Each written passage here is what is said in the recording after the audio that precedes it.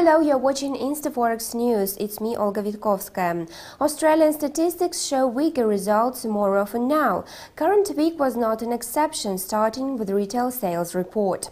According to the report, the indicator remained flat compared with the prior period, though economists thought it would have gained 0.5%. On a yearly basis, retail sales increased 3.1%, while in September the sales were up 3.7% year on year. Ahead of Christmas holidays, the reading is likely to change in a positive direction. However, there is likelihood that the Reserve Bank of Australia will cut its interest rate. With anticipation of this event, the investors lost their interest to Australian currency.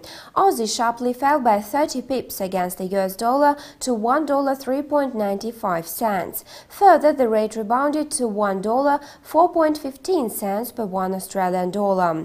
You are watching the recent Forex news presented to you by me, Olga Vitkovskaya. Goodbye.